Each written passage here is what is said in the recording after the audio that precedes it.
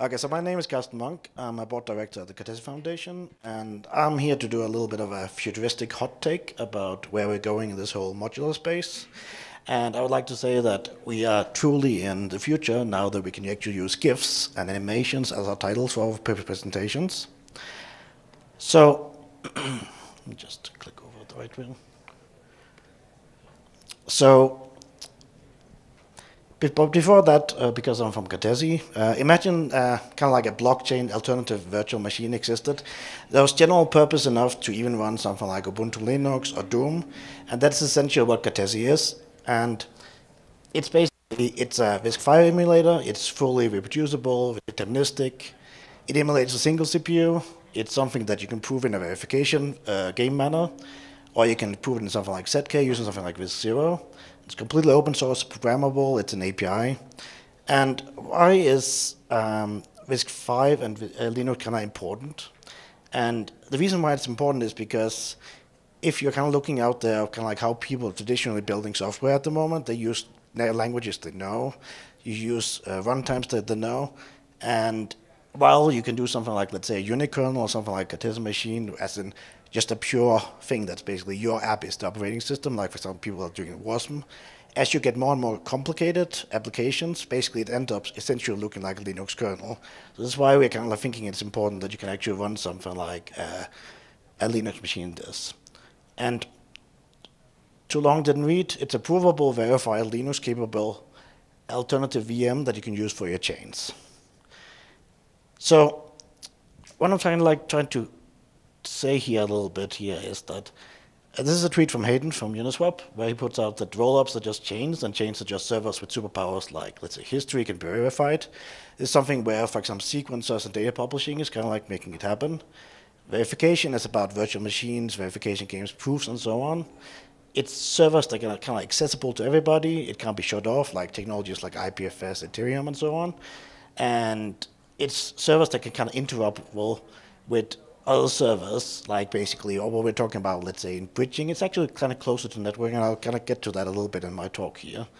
And one of the things that I want to say is that if you're looking at kind of like all the different solutions people are building right now, you're usually finding these servers running something like Linux on traditional CPUs, not and uh, typically running, let's say, JavaScript or Rust or something like that. But but there's not a lot of let's say WASM out there, despite all the let's say attention that's actually happening in the industry, especially in blockchain around that. And what I think that it basically the modularity is closer, much closer to kind of like the design of a let's say a verifiable decentralized data center in practice. Of course, anchored in like things like Ethereum, and basically that we'll be seeing, let's say, a billion of different virtual machines and let's say virtual machine instances on top of this. So to continue the analogy a little bit, um, I see sequencers and data availability great, as kind of like being the world world uh, area network interfaces of this, let's say, world cloud. This is kind of like my favorite table from the Espresso documentation, basically. Uh, it's a kind of like reference. It's, I mean, if we're looking kind of like when we started kind of like having servers and internet and so on. This is pretty much a 200 megabit per second link to our world computer, our world cloud in this particular case. And this is kind of like a link that all these virtual machines can share. And being able to kind of take this, the packets or the information and, and blocks and so on coming in from it, and being able to kind of take it in as a data source and pick out kind of like what's relevant for them to actually process. And amazingly, it happens at like, let's say, bursts. It's almost like a, a, second apart, if not less, as kind of like things like pre-confirmations kind of come on. And sequencers and data availability is kind of like uh, the world area, net, world area networks out to users who send the inbound transactions, and then technologies like, let's say, IPFS, Filecoin, and all the kind of state querying methods is more like, the, let's say, the outbound about part to people.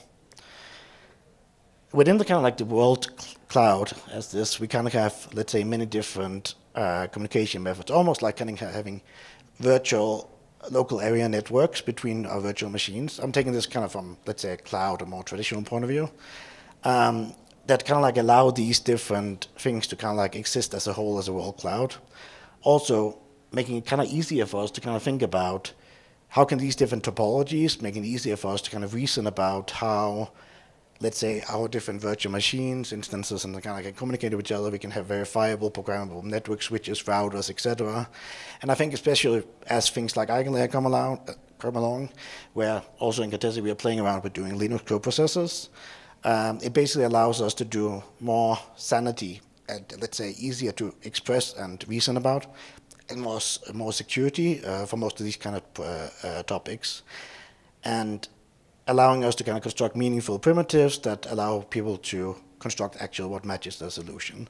Of course, similarly to kind of like when you're look, connecting, let's say, your laptop to uh, Ethernet, uh, something like that, there's, more or less trust. Like, for example, let's say if you're in the open compared to when you're on your own home network, there might be less trust in kind of like what you uh, want to accept in terms of packages and so on. And I, this is kind of like much how, let's say, elements in a cloud solution would look like. This is kind of like my own take on how we can kind of approach building a world cloud. There's many, many other kind of solutions that might fit in, like, for example, Celestia, Rails, uh, or Avail or other kind of ZK toolkits, maybe to kind of different layers. Like, for example, it might be that with things like BitVM, it might be that people want to start anchoring some of these things into, for example, Bitcoin. And it's something like a world cloud, in this particular case, moving from a world computer as kind of was defined before. Is it more like a subset or a superset of modularity? Or, I don't know, but I kind of like the direction it kind of enables in reasoning and simplicity of solutions. And just to add to that, uh, I just want to give kind of like a sneak peek what we're doing in Cartesi. This is a dev environment uh, in the browser, I fetch within a few minutes. Uh, in it, it's possible within 10 minutes to build a Python 3 Docker container, build it for RISC-V, which is this alternative uh, instruction format, into a container, making executable inside the verifiable, reproducible Cartesi machine, attach it to something like, for example, the Espresso Gibraltar testnet, effectively giving this virtual machine that you see here, running kind of like standard code, uh, this shared 200 megabits per second world area interface, and just in just in 10 minutes after installation, and I think we're getting to a point in blockchain industry where we don't really have any excuse anymore for having, let's say, a bad developer experience because we need to kind of go out and grow the pie of developers because like the pie of developers that are developing, let's say, Solidity and VM, they're kind of like stagnating at this point. And we need to be able to make people, let's say, able to jump in to blockchain much easier and with what they already know. And I, I don't really feel that we need more custom languages because even if you're looking at kind of like network and so on, we only apply these kind of tools in areas where it gives clear difference performance and end user experience. And you can always iterate with something like this and start out with a Linux container with, let's say, even the worst possible JavaScript, and then over time kind of like upgrade it to it. And this is kind of like personally why I feel like something like Cartesi is interesting, kind of the modular narrative. And that's it. So if you want to ask any questions or anything, I think we might skip questions because we're a little behind on time. But you're welcome to kind of like find us around here. If you want to know more about Cartesi or Cartesi Machine, you can do this or, or join our Discord, which is quite, let's say, technical. And that's it.